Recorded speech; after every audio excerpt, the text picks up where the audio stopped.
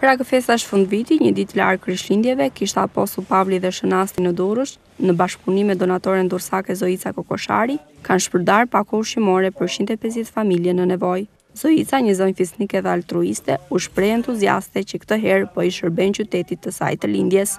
Jam shumë e lumtur që edhe edhe njerëzit e tjerë janë të qeshur, janë të gëzuar. Me pak, me pak, po të paktën kam dhënë diçka në këtë pako. Unë kam tridhjetë e një vjet që jam larguar nga Durrësi dhe nga kjo nuk kam kontribuar fare për qytetin tim. Plus që merrem dhe me bamirësi dhe jam donatore në në vendet e tjera. Thashë mendova këtë radhë që pse jo në vendin tim të bëja diçka më ndryshe. Kështu mund të nxis edhe shumë të tjerë që mund të japin dhe ata kontributin e vet. Jeta është dhuratë nga Zoti.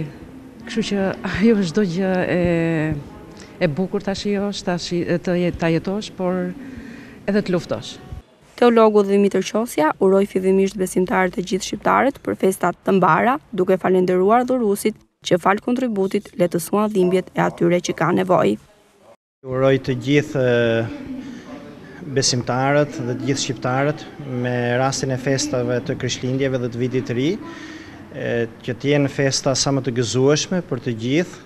familjet, në mënyrë të veçantë do donim të falenderonim të gjithë dhuruesit, të cilët kanë kontribuar për përgatitjen e këtyre pakove ushqimore, për të lehtësuar sadopak dhimbjen e tyre. Qosja tha gjithashtu se Kisha e ndërmerr këtë nismë çdo Krishtlindje dhe Pashkë për t'ju përgjigjur nevojave të familjeve që janë në vështirësi. Ne vazhdimisht për Krishtlindje edhe për Pashkë përgatitim më shumë se njëqind e pesëdhjetë pako për t'ua ndarë këtyre familjeve në nevojë.